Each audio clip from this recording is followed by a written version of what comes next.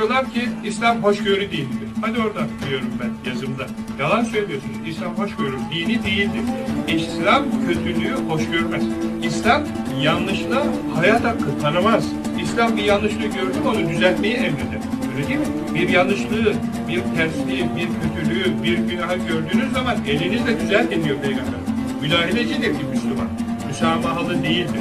Müdahaleci, müdahale eder. Yaptırmaz. Diyor ki İmam Gazali, adamın elinde iş şişesi görürsen alırsın, kırarsın. Emri maruf, nehi münker bir farzdır. Yani iyi olan şeyi emretmek, kötü olan şeyi yasaklamak, yaptırmamak önemlidir.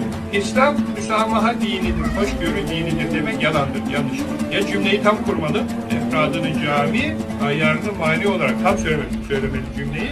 İslam her şeyi hoş görmez. İslam hoşgörü dini değildir. İslam haktan yana, tarafkirlik dini.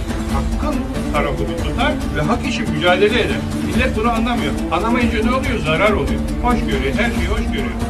Suistimali hoş görüyor. Yalancı politikacıyı hoş görüyor.